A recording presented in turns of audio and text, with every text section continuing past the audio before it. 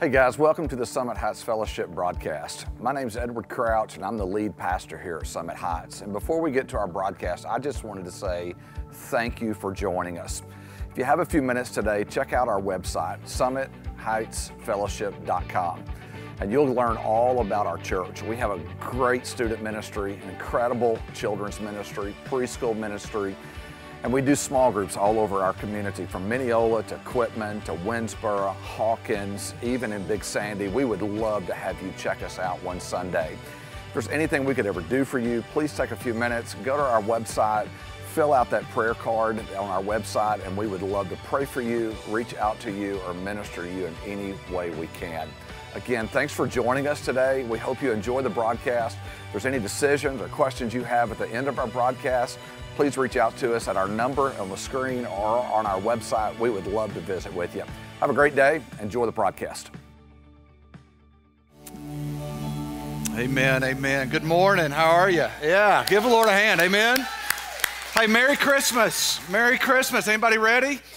Uh, maybe a little, okay, two of you. Awesome. Um, uh, loved Christmas time. Love Christmas time. In fact, uh, we know this story. I want to read it to you. So, in the same region, there were some shepherds staying out in the fields and keeping watch over their flock by night. And an angel of the Lord suddenly stood before them, and the glory of the Lord shone all around them. And they were terribly frightened. But the angel said to them, Do not be afraid, for behold, I bring you good news of great joy, which will be for all the people. For today in the city of David there was born for you a Savior who is Christ the Lord. And this will be a sign for you. You will find a baby wrapped in clothes lying in a manger. And suddenly there appeared with the angel a multitude of heavenly hosts, praising God and saying, Glory to God in the highest, and on earth peace among men whom he is pleased. And that's the Christmas story. It's simple. I've been reading it all week, and I, have been watching uh, the Charlie Brown Christmas story. Anybody else watch that? Amen. I know I'm dating myself, and some of these guys aren't old enough to know who Charlie Brown is, you know, except for that one cartoon. And, and I keep looking at that over and over again, and we love that story. In fact, we look forward to it. In fact, that's why some of you are coming to church this month, is because you want to hear this story, and, and because we live in the Bible Belt. But what if I told you, because I really believe this is true, what if I told you there was a group of people in this room. And maybe it's you, maybe it's not. And maybe there's a whole group of people here this morning. And maybe uh, you work with a group of people. And what if I told you this morning that there's a spiritual virus that's been going on for centuries called doubt? I'm not sure I believe that. I mean, angels appearing in the sky, really?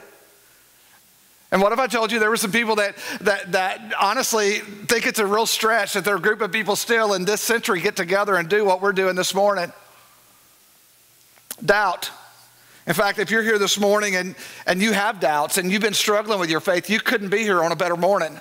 And we are so glad you're here this morning because we want you to know at Summit Heights, we're not afraid of questions and we're not afraid of doubt. You see, the sickness of doubt is varied, and maybe you've come to the conclusion that I was told a few weeks ago by one guy that God doesn't exist. And maybe you're there, or maybe you've come to the conclusion this morning that, uh, that, that God really can't forgive you because you're just got too much of the devil in you. I've had somebody tell me that. Or you wonder whether the Bible really is the Word of God. Or you question why God lets people suffer. Or, or maybe, maybe you've been praying because you're struggling and it seems like nobody's home in heaven. And you keep knocking on that door. Thanks, Patty. You keep knocking on that door. And you're thinking, okay, nobody's home, right? Because God ain't answering. And maybe you've questions about God and how He created the world and how it's going to end, or you're wondering for other things between heaven and hell, and are God, is God really going to send somebody to hell, and Satan and angels and miracles and the virgin birth? I mean, come on, really? Virgin birth. Come back next week. We'll talk about that. And then the resurrection, and then the end times, and you got all these things going on. And maybe you've said to yourself that, you know, I think I became a Christian, but I'm not even sure about that? In fact, I would say this room could be divided up into three sections, and I'm not putting any of you in a section, so don't hear me say that this morning, okay? But if you divided people up, there are those who have doubted, there are those who will doubt, and then there's a group of brain dead people, amen? And here's what I mean by that. I'm not insulting anybody, okay? Because I'm like, what? Did he just call me brain dead? If it fits, okay? Um, what I'm saying is, is if you're a person that doesn't think at all, yeah, you're probably not going to doubt. But if you seriously contemplate your faith and what it means to follow Jesus, the chances are every once in a while you're going to come down to some questions. And if you've lived long enough, you're going to have some issues and uncertainties and doubts. By the way, that's not just a Christian experience, that's the human experience. That we have doubts and questions. That's what drives some of you to education. That's what drives some of you to academia. That's what drives some of you to all the different things you run towards because it's a human experience, not just a Christian experience that we doubt. What I find is even professed atheists, which by the way, I don't believe in atheists, and I'll explain that in just a moment, but even professed atheists change their minds about what they believe. Isn't that amazing? So the question isn't, will you catch a virus of doubt? Because you probably will. The big question is, is how do you prevent the virus? And if you get it, how do you get out of it? Right? See, the problem is that some of us, we don't want to admit it. And you think you have to have everything figured out. And so, for some of you in this room and, and that older generation, and I, I'm not calling you old, but I, I grew up in that generation too, that we were taught never to have questions. In fact, I had a pastor one time tell me when I was questioning him about something, he said, Oh, no, son, listen to me. You need to stick to what you know. And it kind of pushed me back. And so there's this whole idea that questioning was wrong. And I want to tell you this it is okay. You're in a safe place to come clean this morning that you can have questions here. We've said this for years at Summit Heights that this is a safe place for you to investigate the claims of Christ. We're not afraid of questions. Now, we may not have a clear answer for you, amen? Never heard that from a preacher, have you? I'm not going to have a clear answer because all preachers have clear answers. See, the older I get, the more I realize the less I'm willing to take a bullet for. Amen? If it's not Jesus, and I'm not going to fight. In fact, if you came here to fight, you've come to the wrong place. We've said that for the last few years. I'm just not going to argue anymore. I'm just not there. So it's okay, you can admit it. So let me mention some doubts about faith because I think some of us have this whole idea about, about doubts and, and about all these things. And first of all, some of you have been taught through the years that doubt is the opposite of faith. And it's a myth because the opposite of faith is unbelief. And that's an important distinction. The opposite of faith is unbelief. And what is unbelief? Well, according to the scriptures, unbelief refers to a willful refusal to believe, or it refers to a deliberate decision to disobey God. Let me tell you what unbelief is unbelief is sin. It's a willful uh, decision to disobey God. That's unbelief. Doubt is to be indecisive or ambivalent you're not real sure. You're just not sure. You're kind of hung up between certainty and uncertainty. And so there's this idea that, hey, if you have doubt, then that's unbelief. No, unbelief is a willful decision. We'll talk about that in a minute. Doubt is that you haven't come squarely down on disbelief. You're kind of up in the air. You're struggling. And what happens for many of us when we get to that struggling, we are so hell bent on getting to a decision, we'll throw out everything and just say, I don't believe. And really, you just doubt. In fact, it's been said that struggling with God over the issues of life doesn't show a lack of faith, it is faith. If you struggle with the realities where you are, that's not a lack of faith. No, that's faith. You should be struggling. I mean, I read the Psalms and I look at the psalmist, and how many times the psalmist literally calls God out and almost calls God a liar. Where are you? Who are you? You said and you said and, and you you promised and you did it and God you're not and all the and you read the Psalms you're like oh my gosh why didn't God strike him dead? You See, doubt's not unbelief, but the second thing I'd say is doubt is not unforgivable. Some of you have been taught that. But you think doubt is unforgivable, that we can't question God. Well, see, God doesn't condemn us when we question Him. In fact, one of my favorite stories uh, is in Luke chapter 7, where John the Baptist, y'all remember him? He, he was a pre runner to Jesus. He was the guy that's out in the wilderness saying, Repent, for the Savior's coming. And, and he's, that, he's that wild man that was out there. In fact, he's the guy that baptized Jesus and witnessed all that thing. And, and Luke chapter 7, look at it. It says, John's disciples, because now John is in prison. See, here's what happens you live long enough, life will happen to you. Amen? You live long enough, life will happen to you. You'll go to college, you'll have a professor, you'll have a marriage end, you'll get in trouble. Something will happen to you, and you'll find yourself in prison. That's where John is. And John's disciples told him about all these things, and calling two of them, John said, He sent them to the Lord to ask, Are you the one who is to come? Or should we expect someone else? I mean, think about that. This is the same guy, John the Baptist, who, who once pointed to Jesus and said, Behold, the Lamb of God. He pointed out Jesus. And, and he's also that same guy that was standing there when he baptized Jesus, that the heavens opened up, birds came flying down, and God spoke and said, This is my beloved. And now he's going, Uh, because life happens, doesn't it? Life happens. You can be so sure about one thing and life will happen to you and doubt will come in. And here's John looking at it. He's got doubts. He's not sure. Is Jesus really the Messiah? I'm in jail. It hadn't worked out. What do you think Jesus said? What do you think Jesus responded? Look at verse 22. So Jesus replied to his messengers, his disciples, Go back and report to John what you've seen and heard. The blind receive sight, the lame walk, those who have leprosy are cleansed, the deaf hear, the dead are raised. The good news is proclaimed to the poor. In other words, instead of slam dunking John, because that's what church does, doesn't it? So many times you come to church and you doubt, guys like me, maybe in your past, have slam dunked you, and all of a sudden we see Jesus not slam dunking him, not thinking less of him, not doing anything. He says, Go give him the evidence. Go tell him what you've seen. Check it out. In verse 28, we find what Jesus really thinks because after all this, Jesus is continuing to teach, he's continuing to heal and all that. In verse 28, then Jesus comes back and here's what he thinks of because see, some of you think God's disappointed in you because you doubt it. Look at what Jesus said. I'll tell you, among those born of women, there's no one greater than John. And this is the dude that just doubted, and now Jesus is bragging on him. Yet the one who is least in the kingdom of God is greater than he. Think about that. Jesus gave John the highest compliment in the world. At the same time, John was in the midst of doubt. He didn't slam dunk him. And listen, he's not slam dunking you for having questions in your mind right now. Isn't that amazing? And some of you get all up in your head. You see, here's the third thing about doubt. You've probably been told that doubt is unhealthy. Oh, don't be doubting now. That's what I was told growing up. Don't be doubting. Stick to what you know, son.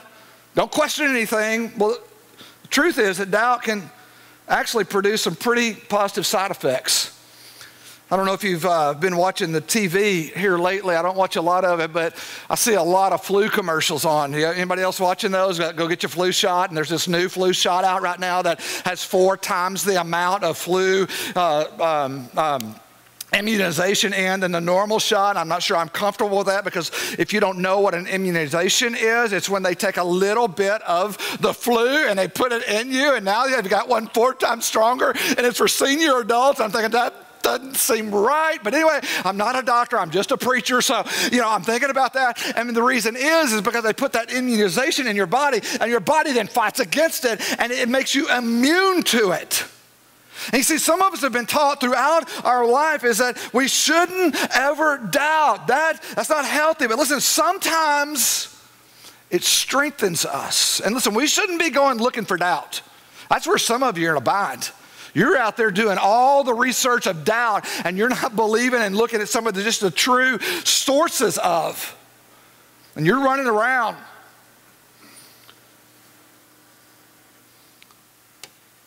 you see, some of us are struggling with that. So, what are the roots of doubt? What are the sources of doubt? And there's lots of them. But I want to look at three, and it involves your mind, your emotions, and your will. Your mind, emotions, will, because first of all, I believe doubt grabs a foothold in your mind. Amen? That's where you come up with those intellectual objections where we begin wondering whether things like heaven and hell and Satan and angels and miracles and virgin births and, and resurrection and second coming and Armageddon, the whole place is going to burn up, right? And doubt often develops in our mind. And simply because we don't know why we believe what we believe. You ever had a conversation go like this? So, so you believe in Jesus, right? Yeah, sure. Yes, I do. And they'll look at you and go, Well, why do you believe in Jesus? And you do what a good Baptist does, right? Because not all of you are Baptists, so I won't throw you into that, okay? And so you do what a good Christian does. Let's, let's clarify that because I'll get an email. You're picking on Baptists. But anyway, you'll do what you've been taught and you'll pull your Bible out and you'll begin turning pages, and then someone will look at you and go, Hey, uh, you don't expect me to believe anything in that book, do you? You're like, Well, um, yeah, it's the Bible. And then they look at you and they say this to you. Everyone knows that the Bible is full of contradictions and mythology. and don't you know that? I mean, come on. We live in the 21st century, man. Really? You're going to believe that? You expect me, an intellectual, to believe that? A book that's 2,000 years old? And then all of a sudden you look at them and go, yeah, I think. And then doubt gets there. And then all of a sudden you begin to question maybe, he's right. Maybe the Bible's not reliable. Maybe, maybe, maybe I swallowed the Jesus story hook, line, and sinker. You ever been there? You ever thought that? said that Christians should just believe. You got to have childlike faith. Faith of a child, man. And that's what Jesus said. The problem is, many of us never grew up. We never grew up. Yeah, it starts with faith like a child, but then it becomes a maturing faith where we grow into that. And the chances are, if you don't grow up, someone, sometime, somewhere, that professor is going to come to you and give you permission to doubt and for, give you permission to question. And all of a sudden, it's going to challenge your faith. And for some of you, you're going to throw it out because, uh, very honestly, you don't know why you believe what you believe, and that makes you vulnerable. Let me give you some instances. For some of you in this room, you know all about God's love. You know all, and you love that idea about God's love, but you don't know anything about God's justice, God's righteousness, or God's holiness. And so, therefore, when God does something that doesn't seem loving to you and you don't understand it, and God doesn't perform the way you think He should, all of a sudden doubt creeps in, or you get mad at someone because they're talking about justice and holiness and righteousness, and all you have is this idea about God is love, and God does something that doesn't seem loving to you, and all this tension comes in, and boom, you begin to doubt. Or how about this one? How about you've been told that God answers all your prayers, right? Because that's what a good God does. He answers all your prayers. What happens when He doesn't? What happens when they die? And you prayed and you cried out to God. And then all of a sudden you begin to sit in your room and nobody else is around and going, Where are you, God? And you're not real. Or how about this one? All those crazy preachers, and yes, I said it, I'm on TV, all those crazy preachers that said God will make you rich and wealthy. And all of a sudden, He doesn't. And you're living paycheck to paycheck, not because you're in debt, it's because you don't make enough on minimum wage to take care of your family, and you begin to wonder, where is God? And doubt creeps in. You see, the problem isn't with God. He never promised to make you rich and healthy, never promised to answer one of your, every one of your prayers. The problem is that we've got an inadequate view of God, which is why we spent the last 14 weeks looking at the names of God so that we begin to understand who God is and what He does. And so doubt can breed in our minds, but it also infects our emotions. Because when we begin to doubt that, our emotional response is, for many of us, our whole faith is based on our feelings. We've got to have this euphoric feeling about our faith. And if it's not euphoric, then we got to go find another euphoric moment to recreate that euphoric moment that we had at the last euphoric moment. the problem is, you ever tried to live on your honeymoon for nine years? How many of you would like to try? Amen? See, there was a time when I was young, I'm thinking, I could do that. Now that I'm 50, I'm going, I'm ready to go to bed. Amen? Now, don't look at me like I'm crazy, right? You know what I'm saying? I don't want to be inappropriate. For, but see, what happens is many of us base our whole Christianity on great music and great preaching, and all of a sudden, when it's not so great, or it's mediocre, or it's too loud, or Edward just has a really bad day, because I have those, and you walk out and go, Well, preacher, we got to go find something that's a little more exciting. Really? Really? What happens if it's never exciting again? I mean, come on, really? It's like that old song, I don't know where we went wrong, but the feeling's gone and I just can't get it back. because we've misunderstood the role of emotions and faith. Faith isn't fundamentally a feeling, faith is a decision to trust God. I'm going to trust Him. I don't, I don't understand. It doesn't ebb and flow. You see, some of us, our mood swings get us, and, and, and, and we have that depression, or maybe we're a little melancholy in our journey, and so we're looking for those ebbs. And listen, faith is steady that Jesus, you don't change. Another way we doubt is some of us have been scarred in the past. We've suffered abuse as a child and we've, uh, we've been abandoned, or maybe that first marriage ended, or maybe we were involved in a group and we found out it was a cult or a borderline cult, and, and, then we get burned, and some guy says something stupid, or we get hurt, and we're just all along now at that place waiting for God and looking for God, that God's gonna do the same thing in our past that somebody did to us. And then there's that last one that for many of us, there's a stubborn sense of pride that causes us to doubt. Now, listen to me, this is so important because Os Guinness says this the proud man, don't miss this, the proud man needs to doubt because the sense of his own importance demands it. And it's not in his nature to bow to anyone. You see, it affects our emotions, it affects our mind. But listen to me, church. Listen to me, Christian. Listen to me, non believer. It affects our will. And our will is where we make choices. You see, doubts multiply when we continue to willfully sin and not turn away from a pattern of sin. Because sin, of course, creates what? A lack of peace. That's why some of you will never be fully at peace with God because you continue to willfully live in sin, in addiction, living together, pursuing unrighteous, unholy relationships. Listen, I'm not being mean this morning. I'm just telling you the reason that some of you are doubting today is because you continually, willfully live in sin. And sin will rob you of peace. See, when a person can't find peace, he's going to begin to question why hadn't God comforted me? And God, you're distant. He begins to doubt. When actually, the underlying cause of your doubt is a willful decision to cling to sin. Look what James says, James chapter 4, verses 1 through 3. He said, What causes fights and quarrels among you? Don't they come from your desires that battle within you? Your desire, you desire, but you do not have. So what do you do? You kill, you covet.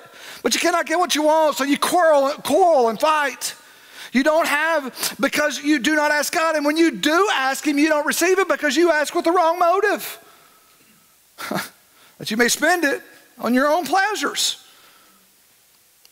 And let me say this for some of you, because some of you just willfully sin. But some of you are not,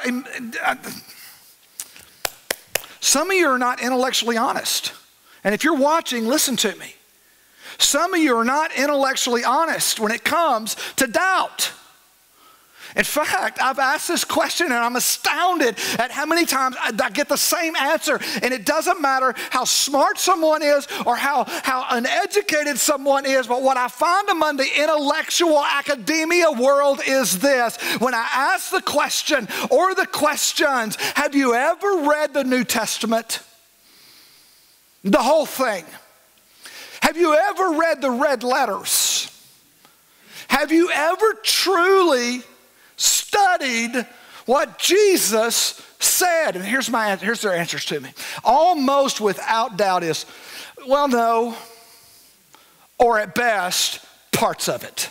Now, listen, I know some of you are looking at me and you're going, well, that's not me. Okay, I'm not, then I'm not talking to you, okay? So you can just listen for a minute. But you know somebody like that. And what amazes me is, what astounds me is, they'll go to great lengths to disprove the claims of Jesus without ever, ever giving intellectual honesty to the study of his actual claims. In fact, I was sitting with a guy the other night and I drew this. I want you to look at this. Anybody see a heart on that screen? There's, there's a heart on that screen. And imagine with me that that heart that you can't see right now represents you. And the rest of that white screen is the universe. Let me show you where you are. Go to that next screen. How many of you got it right? You go, oh, that, that was just a speck on the screen. Whoops. That's a heart. Now imagine with me, some of you that are so intellectually sure that Jesus is a fraud. That that's you, and that represents the entire universe. And let's go ahead and just be intellectually honest. The whole universe would be pretty much all of this wall up here, okay? And, and, and well, let's go ahead and take that to the next level. We can't bring the whole universe up, right? Would you agree with that? So you're telling me you're so sure in your finite position in the universe that God doesn't exist. Listen, the reality is you can believe that. And if in the end you're right, you've lost nothing. And in the end, if I believe that Jesus Christ is the Savior of the world, and I end up being wrong at the end, then I have lost absolutely nothing. But listen to me, listen to me, listen to me. Be intellectually honest here. Because you're not that smart. I don't care who you are. You're not that smart. At the end, if I'm right and you're wrong, then I've gained everything and you've lost everything. So are you so sure? See, I don't believe in atheists. Atheists are absolutely sure. And how many times I've drawn this at bars, at restaurants, in my own home, in my office, where I've drawn this out with my finger on the table and going, That's you. This represents the universe. Are you so arrogant to say you know everything? So you're not an atheist. Huh. And before we move on, we got to remember we do have an enemy. And there is an enemy out there trying to deceive you. In fact, Jesus called him the father of lies, and he's whispering in your ears right now. Some of you are sitting here this morning going, no, no, no, no, no, no, no, no. That's the enemy whispering in your ear. Because some of you grew up in church. What's amazing to me is most atheists grew up in church.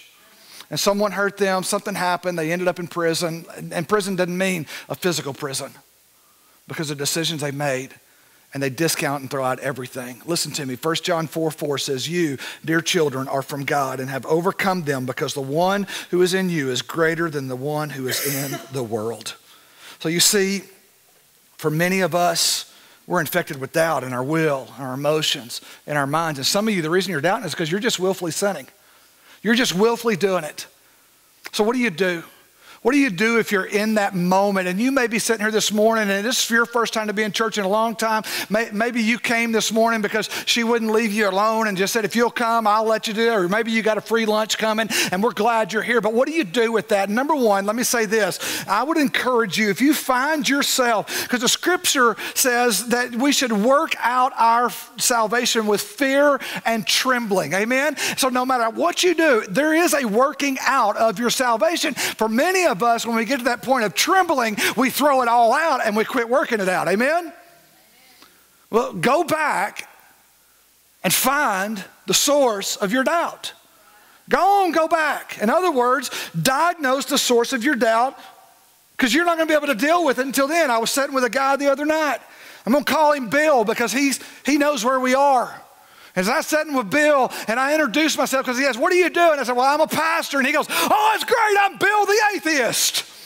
I was like, wow, okay. Hi, Bill the atheist. You know, so we were sitting there visiting.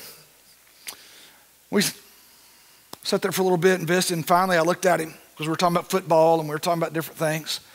I finally turned around and I said, Bill, when did you leave the faith? He goes, Oh, oh, you talking about when did I when did I realize this all isn't true? And I said, Yeah. He said, when I got to college. He said, I got saved when I was seven years old. I went, oh, holy cow. I mean, he used those words. I didn't use those words. He said, when I got to college, I ran into a professor and he gave me permission to question. And so I did. And in one semester, I threw out everything. I've never heard the F word used as much as I heard the F word used that night. I listened to him, and then I drew that screen out for him. And I said, Bill, the reality is you could be right. And if you are, we've lost nothing. But, Bill, the reality is there could be a God out there that loves you and died for you and has an eternity planned for you. And if I'm right, Bill, I gain everything and you lose everything. And I turned around to talk to my wife for a minute, and I turned back around. Bill was gone. I've never seen Bill again. Bill knows where we are, he knows who we are. You see, for some of you, you need to go back to that source of doubt because some of you are basing your decision on a crazy professor. Come on. Come on, yeah. Some of you are basing your decision based on a preacher that said something stupid, so you threw out everything. You ever go to a restaurant and get sick and quit eating for the rest of your life? I mean, what other arena of life do you throw out everything other than religion? How asinine do you have to be? And some of you have thrown it out. Some of you have thrown it out. No, you don't throw it out. You just do your homework next time. Amen. There's certain restaurants in Longview I'll never go back to. Can I get an amen? It'll set you free. I don't want to be that free. Amen. I like freedom. Amen. but I hadn't quit eating. Find the source of your doubt. And number two, ask for help. Ask for help. Some of you quit asking for help. Some of you threw out the baby with the bathwater and just decided that you were God. How good of a God have you made? I love it. When that guy, that father of the demon possessed boy in Mark 9 24, when he looked at Jesus and said, immediately the boy's father exclaimed, I do believe. Help me overcome my belief. In other words, he's looking at Jesus going, I believe. Help me overcome my unbelief because there was still something in him he needed to ask for help. And the most important thing is, is he asked Jesus for help. Some of you are asking all these other idiot, I mean, now people in the world for help. Amen. And they're smart idiots. Okay, I read them. I bought a book translated from Russian into English just recently, and it's made my head pop off of my shoulders, man. And I literally have to put it down because I'm like, these guys are idiots and they're smart. Or maybe I'm the idiot. I don't know. But listen to me. At the end of the day, when's the last time you asked Jesus? Jesus, help my unbelief. Just to ask for help, and maybe you don't turn to God, but maybe you you turn to someone else, Christians in your life. Remember what, what John sent his disciples? Go check it out. And Jesus went back, go, go tell them what you saw. You may not have the faith in your own life. Look at the faith in someone else's life. I tell guys all the time that look at me, your God's not real. I said, then just watch. Just watch. I love it when people come up to me and they'll, they'll, I've had this said to Danielle and I more than once where they've said, I'm telling you, your God does more for you than any other God that I've ever experienced. And some of you are going, wait, there's only one God. Just drop it. Love people. Okay? Let them, let them struggle in there, but let them see your faith. Let them see. And that's why small groups are so important. That's why Ecclesiastes 4 9 10 says two are better than one. See, some of you, when you got permission to question, you just abandoned everything. And you went and surrounded yourself with people that just thought like you. You go, well, that's what you've done, Edward. Well, okay, let's think about that for a minute. Over here, you're totally closed minded to everything. Over here, I'm involved in a group of people called Summit Heights that's not afraid to question. Come on. And if you're in a church that doesn't allow you to question, you need to leave that church and go somewhere that gives you freedom. I'm going to say that again. If you're in a church that doesn't allow you to question, if you're listening on TV this week, you're listening on Facebook this week, you need to leave that church because that's a cult. And you need to get to a place where if Jesus didn't slam the apostle or, or, the John the Baptist for doubting, he's not slamming you either. You can ask questions and God's big enough to handle them. So find the root of your doubt, ask for help, and then take care of your spiritual health. In other words, a body is less susceptible to viruses when it's healthy. Do you agree with that? See, a strong faith is better able to ward off a virus of doubt when it threatens you, just the same way the body is.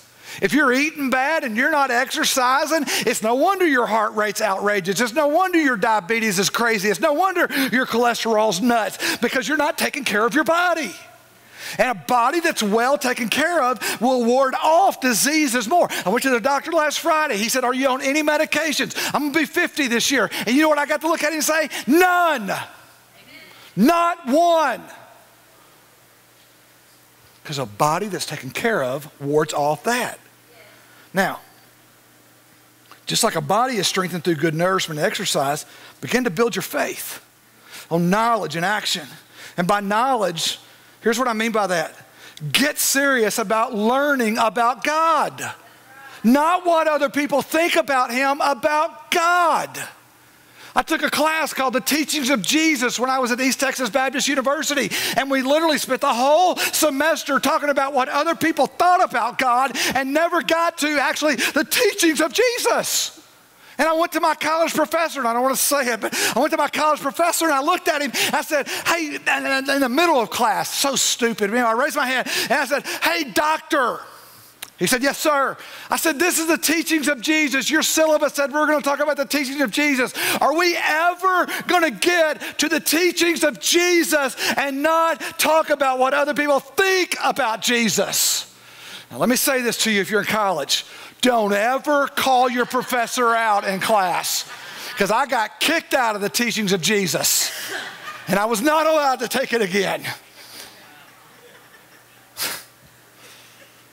Some of you need to get serious about what Jesus said and not what other people think Jesus said. And see, that scares you. That scares you. You see, some of you need to systematically study the Bible the way you study atheism, Buddhism. See, I have a ton of respect. I've got a friend of mine that he studied world religions. Well read. Challenges me all the time with books. And we read books together. I have other friends of mine going, Why do you read that stuff? You see, I love that because not only has he systematically studied world religions, he's systematically studied the claims of Jesus. And at the end of the day, that's where he stands. And some of you need to get involved in a small group, in a Bible study, in a podcast that is systematically studying the Word of God. And through your day to day actions, begin to build your faith. We teach our kids all the time when you lose something. We just teach them Have you prayed? Have you asked God where your keys are? How many times I've gone through the house raging? You ever been there? Anybody else? Don't look at me all spiritual where I've got to be somewhere and I can't find my keys, Jason, and I'm just, I'm running through the house and it's Danielle's fault and it's, it's the kid's fault and it's the cat's fault and it probably is because all cats are from hell. But anyway, um, it, it's, you know, it's everybody's fault except mine, right? And Danielle will finally just look at me and go, Have you prayed and asked God where your keys are? No, I don't want to pray. Now, and how many times we've sat down and, and we've done this. And just pray, God, help us find our keys. And dad gum will hear one of the kids, hey dad, here's your keys. We're like, he had it the whole time. Taste and see, as King David said. See for yourself that the Lord is good. And when you do these things, listen to what happens. I'm telling you, those doubts are not going to go away, but what you're going to begin to do is strengthen your muscles. And here's the last thing, and I'll say this as we close find the root of your doubt, ask for help, take care of your spiritual health. But you may have never heard this before in church. Hold the tension, hold the space. Because there's going to be some things, listen to me, listen, listen, listen, listen, listen, listen, listen. You are limited people with limited minds. I am a limited man with a limited mind. And there are going to be some things that I am not going to understand about an unlimited God. Did you hear that? There's going to be questions that I'm just going to have to wait until we get there. And maybe when we get there, we're going to be like a little kid in a classroom. Jesus stands there going, and Jesus goes, You got any questions? And we're going, ooh, ooh, ooh, We're going to be excited, right? And we're going to be asking the question, Jesus, Jesus, I got a question. It's been bugging me. Exactly how does predestination work? And some of you are going, what? Others of you going, yeah, I want to know that. See, some of you don't have a clue what that is. And you're better for it.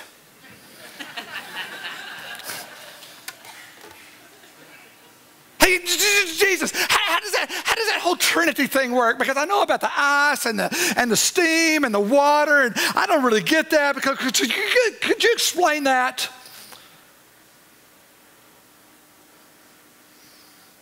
Or, Jesus I prayed for a puppy. And I got a little brother. Sometimes it's simple, isn't it? Until then, we can just say, I don't have all the answers to every peripheral thing. But I can still believe and have questions about eschatology. I can still believe and have questions about predestination.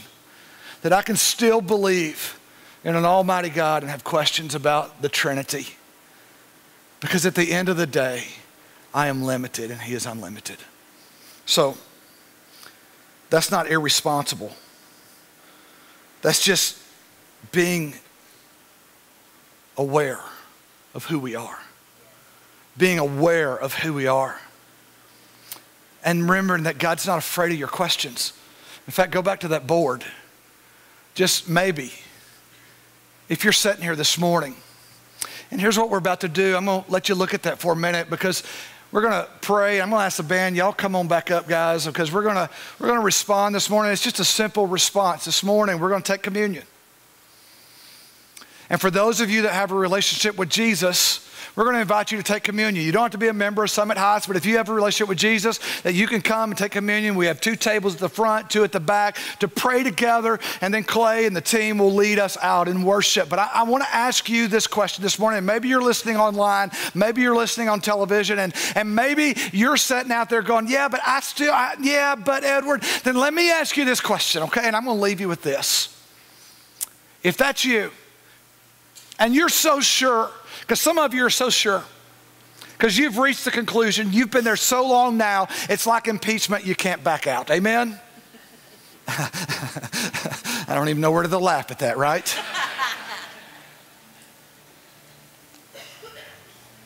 Just maybe that you're right. And that's you, and you know everything. Then you, you don't have anything to lose. We're glad you're here. Keep coming back. Safe place. I see some of you love the Jesus people, but you doubt Jesus. And that's okay. You're welcome here. Keep coming. You're probably not going to be comfortable long term, but keep coming. Okay? But what if? I'm going to close with this. What if you're wrong? And you've lost everything. And we've gained everything. Those of us who have surrendered our life to Jesus Christ.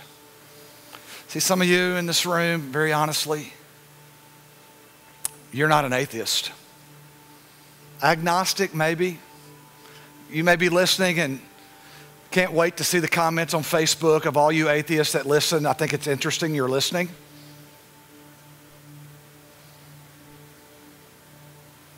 I'm not here to fight with you. I'm just here to ask a question what if you're wrong? Are you willing to risk that? He loves you. He's not here to slam you.